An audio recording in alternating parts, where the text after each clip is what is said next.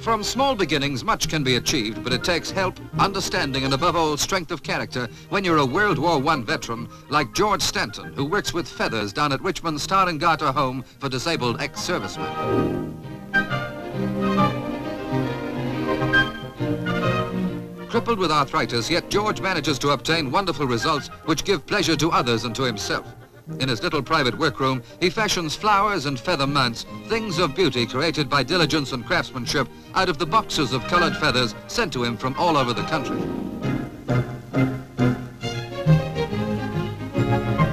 This is a tulip whose raw materials are feathers, wire, and one man's courage.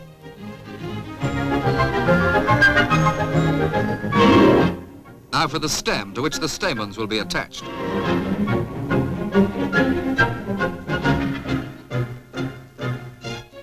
The leaves are now bound on, and soon George, who was born in Bromsgrove, will have finished yet another flower, another thing of beauty to delight the eye, a floral tribute to his own determination in conquering disability.